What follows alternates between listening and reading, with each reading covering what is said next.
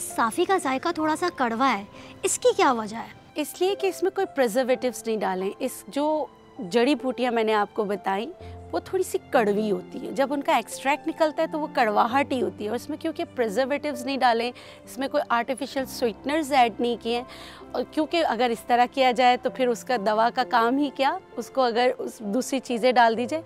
इसलिए ये हल्की सी कड़वाहट तो है, लेकिन अगर आप इसको इस्तेमाल करें तो ये कड़वाहट आपकी खुशी में तब्दील हो जाती है जब आपका चेहरा साफ़ हो जाता है।